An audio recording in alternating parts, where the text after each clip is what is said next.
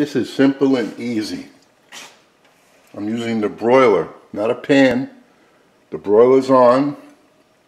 These are all the ingredients that are going to go on top of the ham. Just mix them up. These are the things that I enjoy. I always put mustard with my ham if I'm eating it, or a ham sandwich. So you put mustard on this. Pineapple. People usually put pineapple all over a whole ham. And uh, then bake it off. But this is from a piece of a much larger piece. I just sliced this off. And it looks like I made the right amount of uh, topping just for this one piece.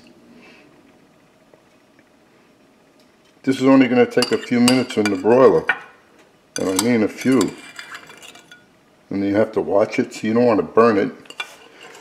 You know the ham is fully cooked already. And once this glaze has a nice color, it's done.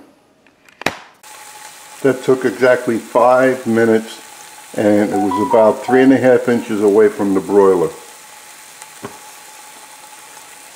I hope you enjoy this.